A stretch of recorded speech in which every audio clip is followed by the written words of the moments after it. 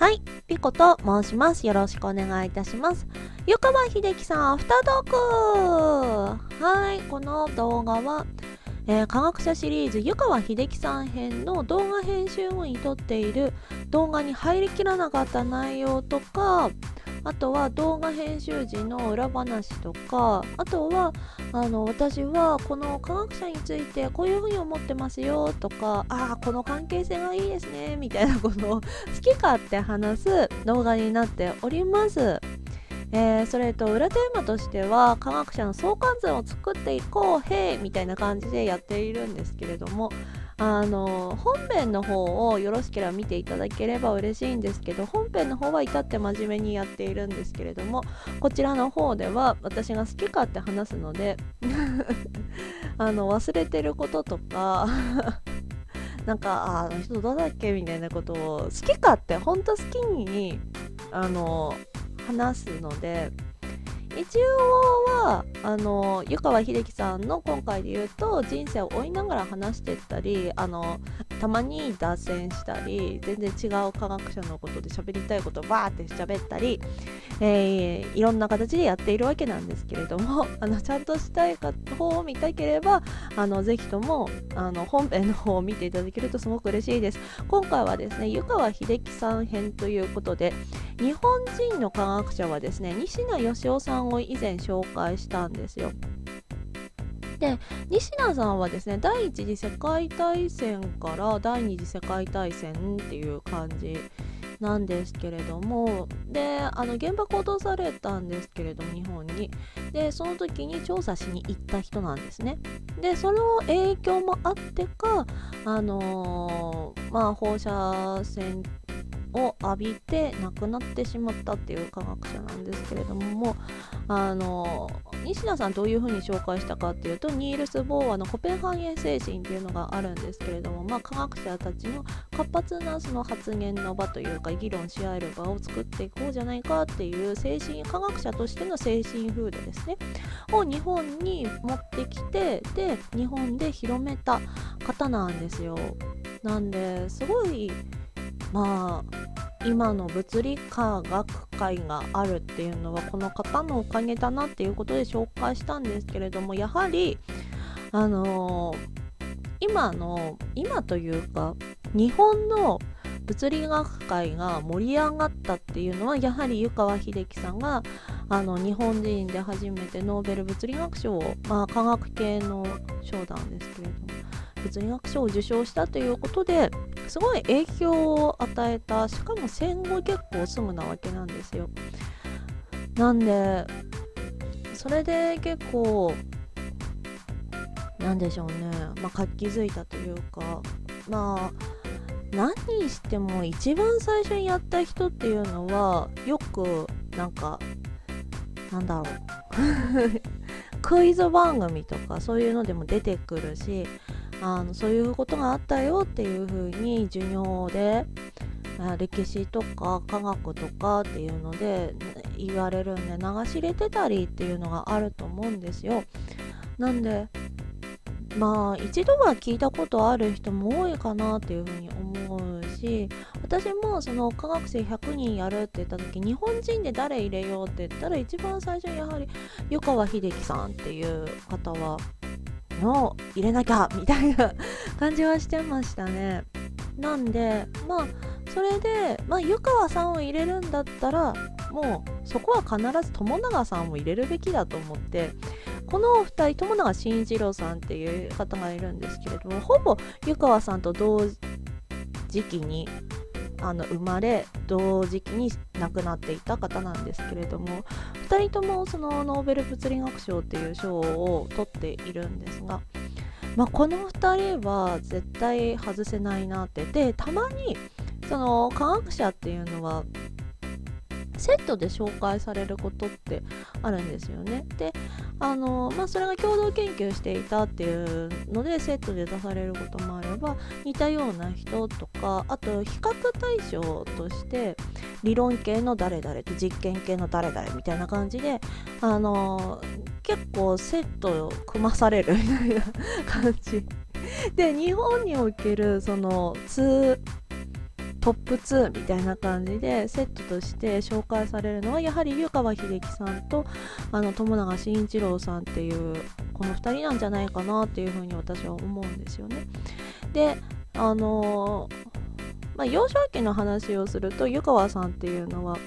そのなんだろうななんか必要なことはあんま必要言わないみたいな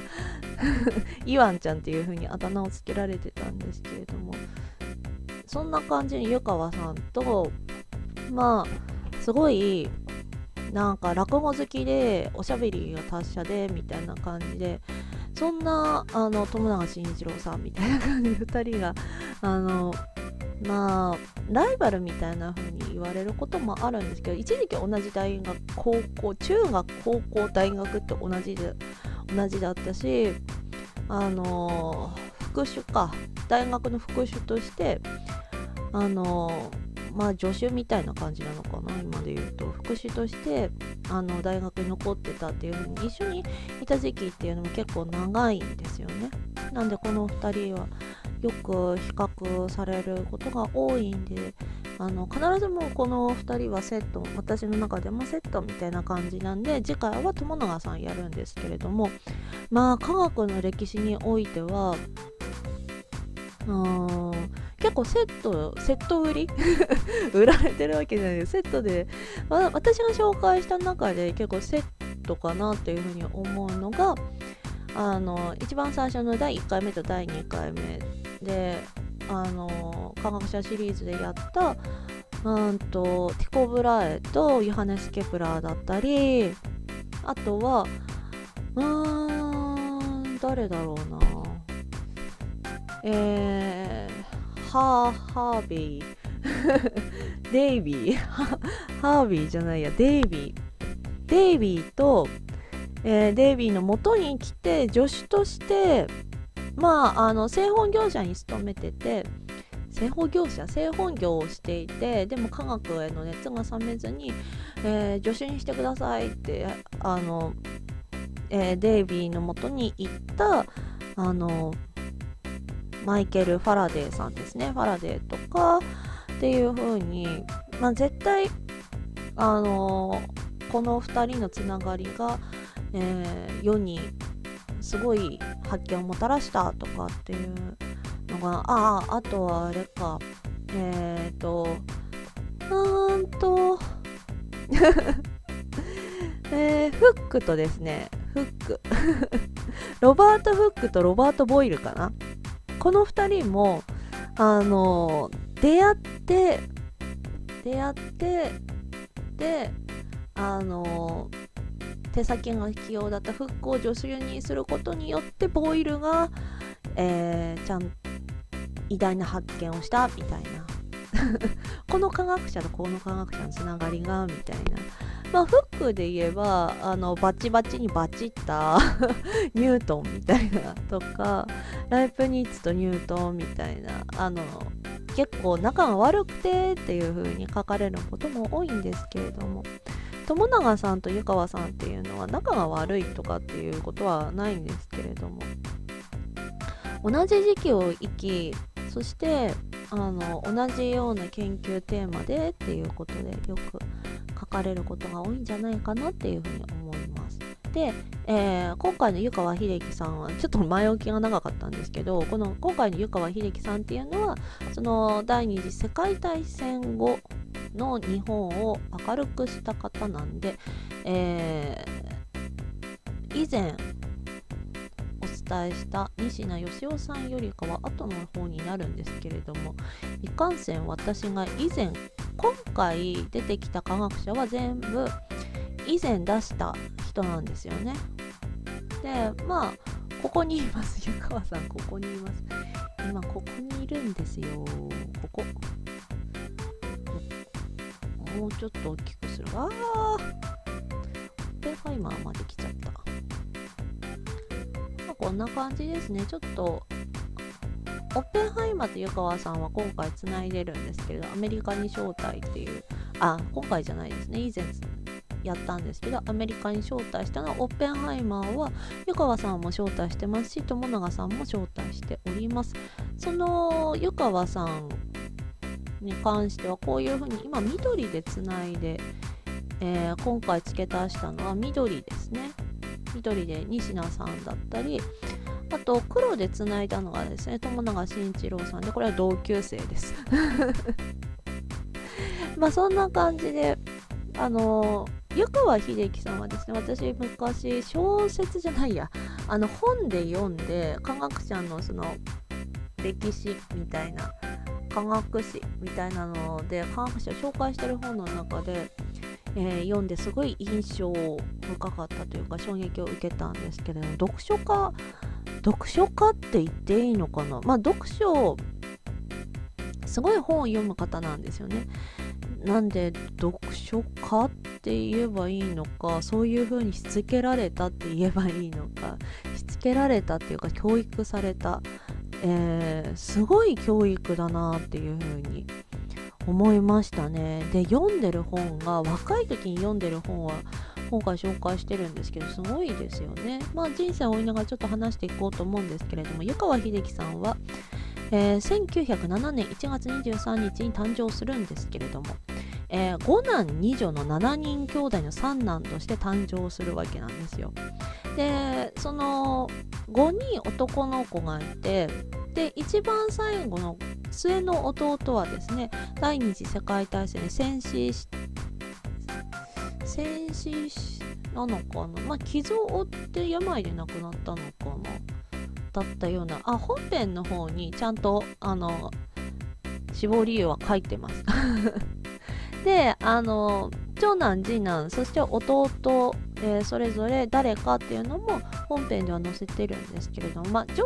長男がですね夜勤学。えー、次男が東洋史学。弟が中国文学。で湯川さんが四男なんで、えー、まあ物理学者ということでですね全部あの学者になるんですよ全員男の子は。であの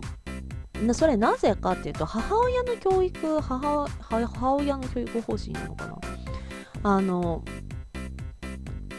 子供はですね男の子供は全員学者にしようっていう風にそういう風に育てるんですよ。でその甲斐もありあまあすごい遺伝子を持ちすごい教育を受け 全員学者になっていくって学者にするって言って学者になるっていうことだからこれはすごいことですよね。でそれが、まあ、なぜかっていうとまあその湯川さんのあの父親がですね地質学者なんですよ。で小川拓司さんっていう方ででまあ長男が夜勤学なんて科学系で湯川さんが物理学。で次男は東洋史学で弟中国文学なんであの語学系というか文系みたいな感じなんですけれども。まあその科学系の父と兄がいて文学系の、え弟たちがいてっていう感じなんでじゃあこのあの家庭ではどういう風な教育をしてたかっていうとまあ小さい頃はですね父の命令でですよ。5歳くらいからあの漢書の素読を祖父に教わります。漢書の素読を祖父に教わるんですよ。ああしかも5歳くらいからなんでなんで小学校入る前ですね。なんでここがすごいなって素読っていうのは何かっていうとその意味を知らずにもうひたすら読むみたいな、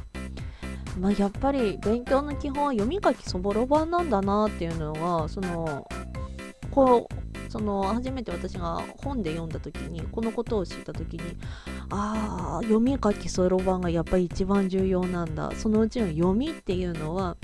やはりその小さい時からあのやらなきゃいけないものなんだなっていう風なのはよくすごい感じましたね。でなんでかってそう思ったのはなぜかというとあのだいたい毎日30分から1時間くらい読んでたんですよその素読してで師匠5教だったっけかな？を読むようになるんですよ。読むようによ読む読むことができるようになるんですよ。でまああのこのことをその素読をやったら何その師匠故郷を読んで習得したらどうなるかっていうとあのまあ要は漢字だらけすっごい難しいわけですよ。で意味も分からずベンバンバンバンって読むんですけどだから何してるか本人分かってないと思うんですよね。なんですけれどもとにかく読む読む読む読む読む読むってしたらそれをちゃんと習得した後はですねどの本も容易に読めたっていうふうに言われてるんですよ。だからすっごい難しいの読めた後はどんな本も簡単に苦なく読める。だから難しい本を読むっていうことはものすごく大変だけれどもものすごく大切なことなんだなっていうふうに思いました。で、えー、まあそもそもその湯川さんのご実家ですね。はですねすごい量の蔵書があったわけですよ。だから本が日常的にある。なんで本に囲まれた生活。だから本を読むのが当たり前だったわけですよ。で、えー、入学小学校入学前にですね対抗期っていうのがあるんですけどその10巻分を全部読むしこれ大人でも大変ですよ さらにです、小学校にいる間にあのー、まあえー、夏目漱石などの本とか古典の数々とか、まあ、お家にあったんだと思います。なんでその中でも里見八犬伝とか三国志とか水古伝。まあ、三国志読むだけでもすごい時間かかりそうですけどね。さらに水古伝までも読んでますから。で伊勢物語とか平家物語などを読むんですね。なんで日本文学とまあ日本の古典とか夏目漱石とかっていうあのまあその現代に近い方の人たちから古典までいろんなものを読むわけなんですよ。で、えー、中学生の時にはその近松門左衛門とか井原西鶴とかあと浄瑠璃ですね、えー、あとツルゲーネフとかトルストイとかドストエフスキーとかあとドイツのフランスの小ドイツやフランスの小説とか、まあ、ここら辺は詳しくはそんな、えー、本編の方に載せてないんです実は。なんであの、まあ、ドイツのドイツとかフランスの小説とかっても省いちゃったんですけど浄瑠璃とかは。でも実際はもっとあの動画に載せてる以上のいろいろなものを読んでいるんですけどあとロマン・ロラのジャン・クリストフとか作業奉仕の参加集などを読むんです。なんで中学生の時には日本のものも読むんだけれどもさらに海外の人の小説とかも読んでいくっていう感じですねで、えー、まあ小学生の時にですね等比数列の和に対する公式をですね自分で見つけたりもします。なんかもうここからもう数学的というか算数的というかそういった才能を見出していくわけなんですけれどもまあよくありがちですよね。その有名な 有名なあの科学者あるあるっていうことで、えー、よく小さい頃に何とかの法則を自分で発見するみたいな。パスカルとかもなんかなかったっけかななんかいろいろあるんですよね。あの、科学者あるあるで。小さい頃に誰も教わるわけでもなく、なんかの法則とか公式を導き出すっていう、これも漏れなく湯川さんもやっております。で、そんな湯川さんですね、はにかみさんだったらしいんですよ。で、おとなしくて口数も少ない子供だったみたいで、で、まあ、じゃあ総じて内向的だった。あとは強情な性格だった。で、えー、まあ、人に対して弁解するのがすごい面倒だった子供だったんで面倒なことなんか言われてもなんかこれこれはどうなのっていう風に言われても言わんっていう風に口をつぐんでしまうわけなんですね。で、えーえー、最終的にはあの周りからイワンちゃんってイワンっていう風に言うからイワンちゃんっていう風なあだ名がついてしまうんですよ。そんな、えー、湯川さんを父親は見てその湯川秀樹さん秀樹さん秀樹は何を考えているかわからんっていう風に言うわけですよ。でえー、なんでもう、まあ、5人も兄弟いたらね比較対象たくさんいるんですけれどもそんな兄弟と違うその湯川さんを見てですね専門学校に行かせようっていう風になんで他の兄弟と違うんでじゃあ違うことやらせようっていうふうにするんですけれども母親や父母親や中学校の校長の強い反対に遭うんですよね。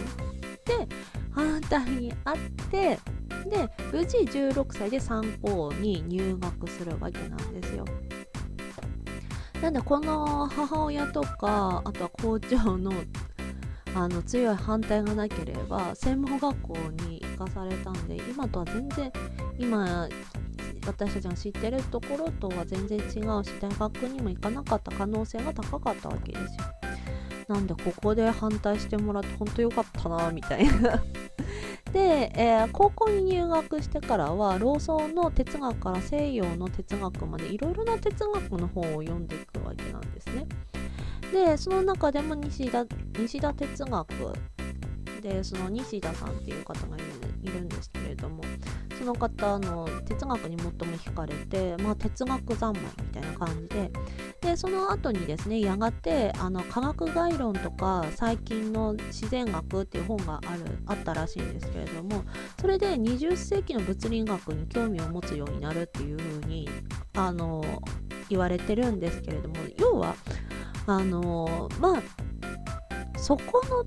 その当時ですよ。20世紀の物理学って言ったらもう量子論とかあとは放射線とかあの原子崩壊とかそういった量子的なものがあのー、だんだんだんだん出てきた頃なんでで、えー、そこでですねフリッツフリッツライライヘか。フリッツ・ライヘ書の英語版の用紙論を入手するんですよ。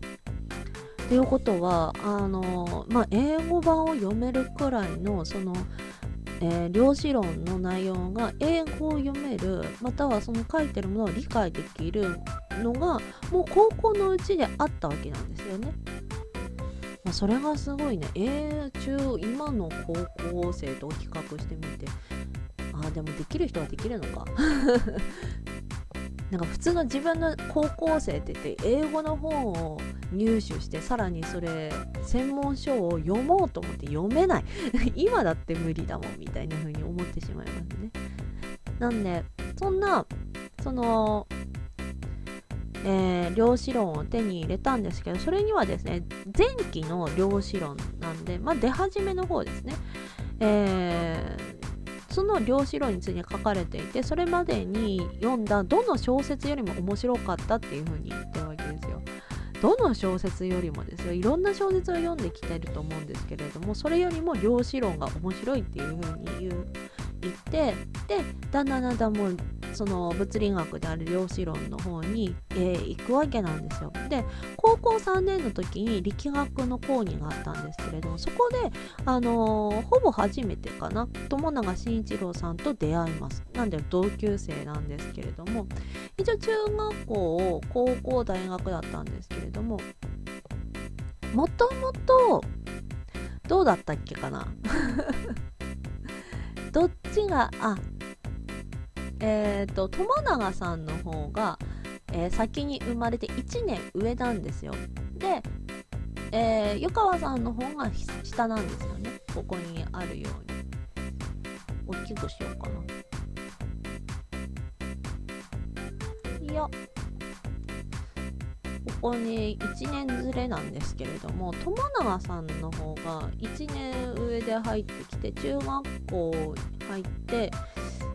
で中学校のあたりか中学校から高校にあたるあたりかはわからないんですけれどもその友永さんが1年上で1つ下で入ってきて、えー、途中で、えー、湯川さんがあの飛び級するんですよ。で飛び級してであの同学年になります。で高校3年の時に友永さんと出会う力学の講義で。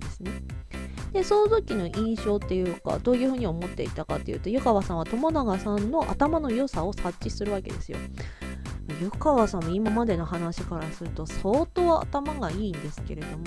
そんな湯川さんが友永さんに対して頭がいいぞっていうふうに、えー、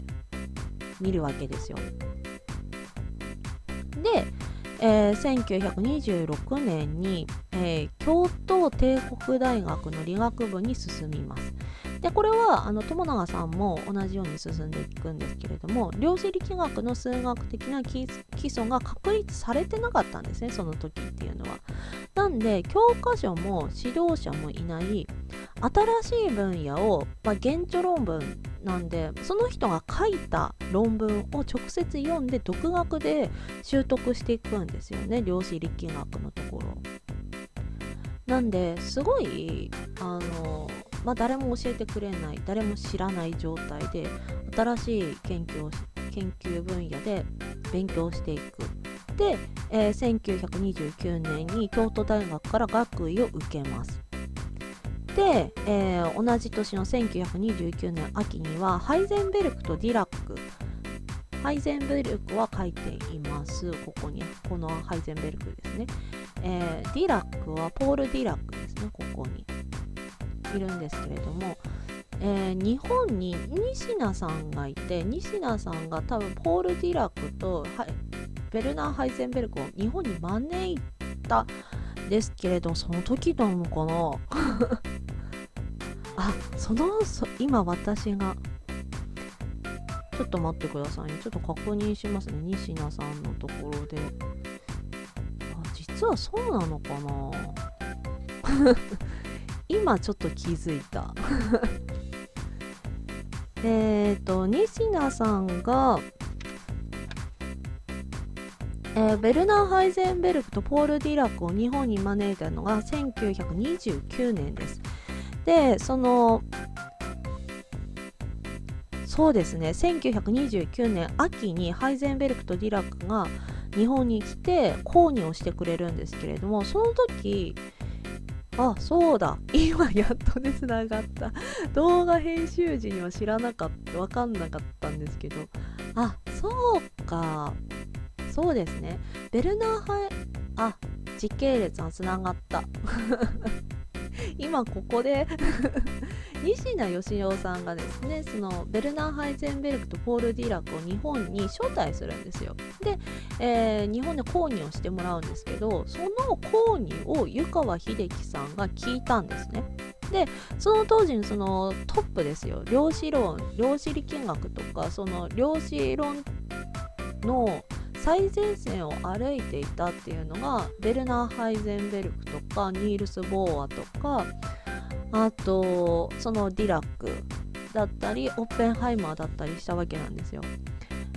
とかあとは、まあ、アルバート・アインシュタインとかなんで、えー、そのうちのディラックと、えー、ハイゼンベルクが、え、日本に来た時に講義を受けて今までその現地論文とかその本人たちが書いた論文でしか触れていなかった。のは本人ご登場ですよ。本人登場でレレレっててみたいな感じで、えー、来てくれるわけなんですよ。でそれですごい刺激になるんですね。で、えー、まあその後京都大学学受けで、えー、湯川さんと友永さんは共に無給の復習っていうのがあるんですけど、まあうん、常習みたいな感じですね。でしかも無給です。給料もらえないんですよ。で、えー、副手として京都大学の研究所に残るんですね。で、えー、その後1932年に25歳で結婚します。で、えー、湯川秀樹さんってもともとはあの小川秀樹さんなんですね。なんでそこで結婚して湯川すみさんのとと結婚したことで婿入りしますで湯川っていう、えー、名字になるんですよ。で同じ年の1932年にですね4月なんですけれども京都大学の、えー、講師として量子力学の講義を始めます。で翌年にはお、えー、阪大ですね、えー、の専任講師になって、えー、まあそこで専任講師になるっていうことは給料とかも発生するわけですよ。でですね1932年にチャドウィックっていう人がいるんですけどこれは実際つながりがないんじゃないかなと思ったんでチャドウィックは書いておりません。多分。チャドウィックはここにも他にも出てこなかったと思うんですけれどもこのチャドウィックさんが何したかって中性子を発見したわけですよ。で中性子っていうのは実際あるんですね。その当時発見したっていうことはあえー、陽子があって 原子構造として、えー、原子核って真ん中の方に陽子中性子そして電子周りに電子が回っているっていう風なまあ一般的なモデルがあると思うんですけれどもよくよく見る形ですね。それがあるんですけれどもそれのうちのその真ん中の方にある陽子ではなくてえプラスでもマイナスでもない中性子っていうのがあるんですけどその中性子を発見するわけですよ。で、えー、1934年にはその中性子から中間子論って中間子っていうのをあの考え始めるんですね。でまあその実際中間子論とかの話はあの本編の方にあるので本編をご確認ください。で、えー、1935年にですねその中間子論を、えー、なんて言えばいいんだろう。中間子論について書いたえー、論文なんですけどそれが素粒子の相互作用についてっていうのがあ書いたんですね。それを発表するんですがただしその中間子っていうのは誰もはあの観測したこともないし予測として出してるわけね。こういう風なのがあってでこれが中間子っていうのがあるんではないかなみたいな感じだったんでえー、2年余りの間はあの国内での反響は良くなく国際的にはほとんど評価されなかったわけなんですよ。でうんなんで全然あの最初は見向きもされなかったというかえそんなの言ってるけれどもそんな嘘じゃんみたいな そんなありえないわみたいな感じなんですけれどもえーさらにですね1937年西名さんがこれを高校も多分ボーアをボーアと関係性があるんでボーアが日本に来るわけですよ。で来日した際にその中間子論っていうのを発表していた、まあ、素粒子の相互作用についてっていうのを発表した後だったんで、えー、日本に来たそのボーアはですね西名さんとボーアがいてでそこに湯川さんもいたわけですよもうボーアが来るっていうことなんでもう時の人ですよ なんで多分湯川さんもそこに来てたんですけれども湯川さんはですねボーアから直接あの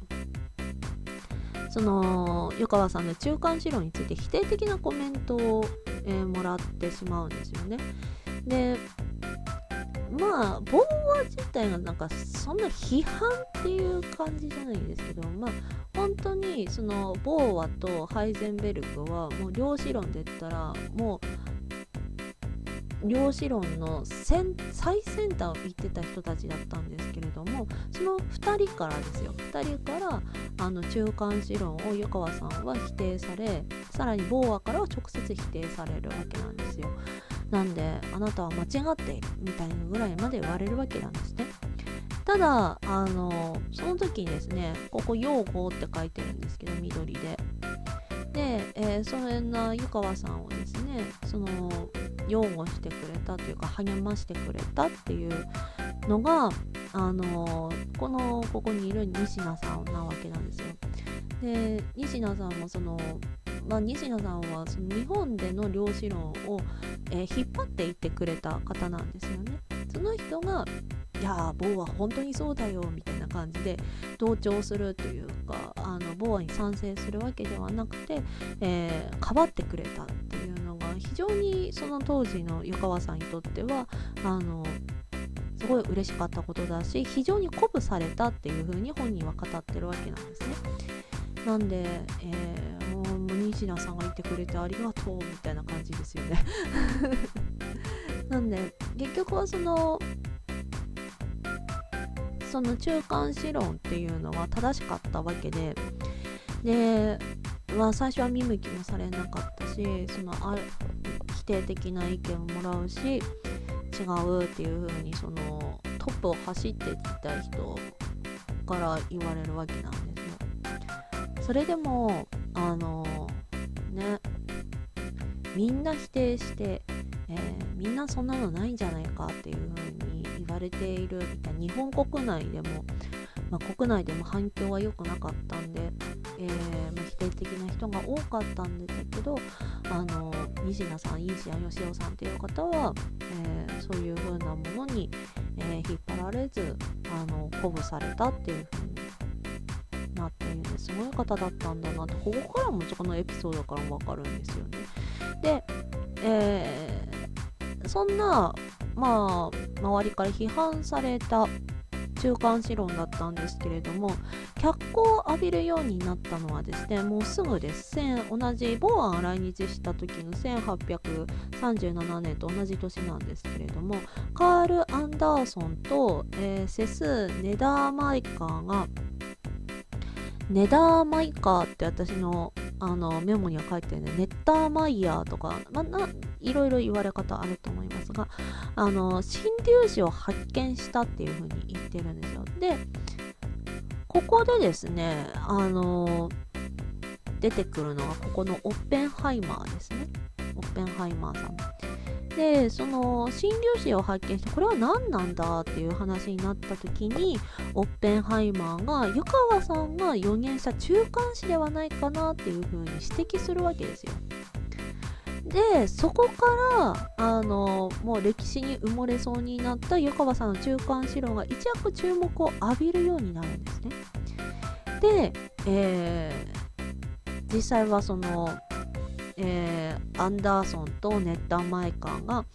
マイヤーかな？ネッターマイヤーだった気がするけれども。まあいいか。この2人が発見した新粒子が中間 C であるっていうことが、まあ、結論づいたわけなんですけど。で、えー、まあそういった縁なのかどうかわかんないんですけどまあ湯川さんが一躍あの脚光を浴びるわけですでそれもあり、えー、1948年なんですけれどもオッペンハイマーが湯川さんをアメリカに招待って書いてるんですけれども招待してプリンストン高等研究所の客員教授になります。で、えー、翌年にはですね1949年には、えー、コロンビア大学の教授になってニューヨークへ移ります。なんでこの時期はもう日本にいる日本ではなくてアメリカにいるっていう感じですね。で同じ年の1949年にノーベル物理学賞を授与されます。でまあ同じような時期にですねこれはもう戦後です。第二次世界大戦後になっているんですけれども1949年。あたりですね、まあ、物理学賞を受賞したあたりに反核運動にも積極的に携わっていくわけなんですよ。なんでその核を、えー、やることを なんだっけ核兵器を作ることをやめようっていうのと核兵器の平和的うーんまあ持っているんだったら核兵器を平和的に使おうみたいな感じだったかな確かみたいな。あとにかく核兵器を作るのはやめようみたいな感じです。もう核を捨てようみたいな運動があるんですけれどもそれがあの科学者たちがですね集まって署名したもので何人だっけかな。何人かいるんですよ。なんかそんな20人30人とかじゃなくて何人かその有名なその当時有名だった科学者たちが集まってラッセル・アインシュタイン宣言っていうのがあるんですよ。それにその当時ちょっと有名だった科学者があの核兵核、えー、兵器をなくそうみたいな感じの運動に参加してでラッセル・アインシュタインが、まあ、ラッセルっていう人アインシュタイン2人だったような気がするんですけどその2人がまあその宣言を出すんですけどそれに賛同しますよっていうことでまあ他にも誰誰がいたかってマックス・ボルンとかなんですよ。こにいる。マックス・ボルンとか、まあ、今日はベルナー・ハイゼンベルクの助手として、えー、マックス・ボルンの助手としてハイゼンベルクがあったのかな。なんで、なんそのマックス・ボルンもですね、あのもうその量子論のトップを走っていた人なんですけれどもそういう人たちと一緒に共同宣言者として名前を連ねるんですね。で日本人は湯川さん一人だったような気がします。でその後1975年に前立腺がんを発症して手術を受けるんですけれどもその後は自宅で療養を続けながら学術活動を行うんですが1981年9月にですね急性肺炎からの心不全を併発して自宅で亡くなってしまうわけなんですよ。そんな感じですね、衣装としては。で、湯川さんはですね、あの、まあ今まで言ったように、えー、今まで知られてなかった量子論っていうのを誰も教えてくれなかった時期から、えー、独学で勉強し始めてで、えー、今まで誰も考えなかった中間子論っていうのを、えー、導き出すわけなんですよ。なんであの新しい分野っていうのを、まあ、自ら切り開いていった人なんで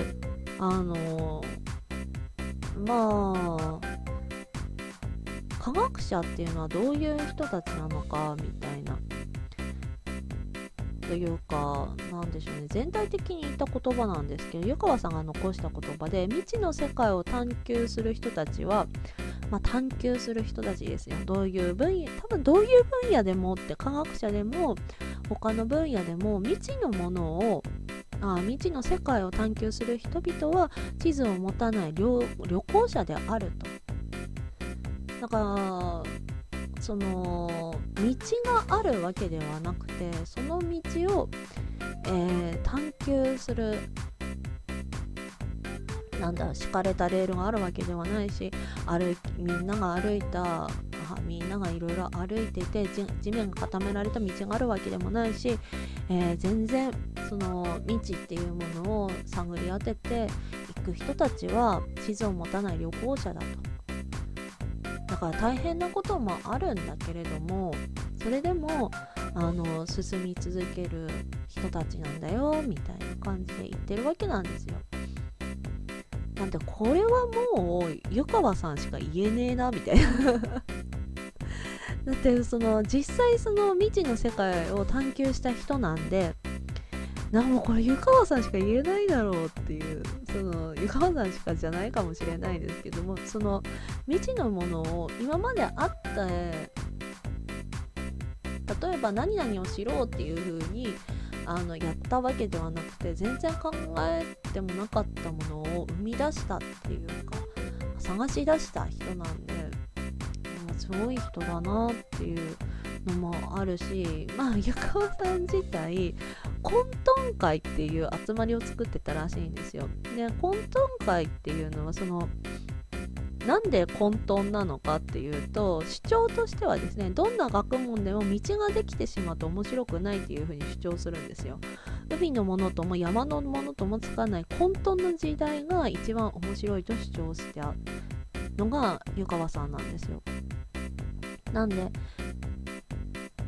なんでこれって何？っていうところが一番面白いということですよね。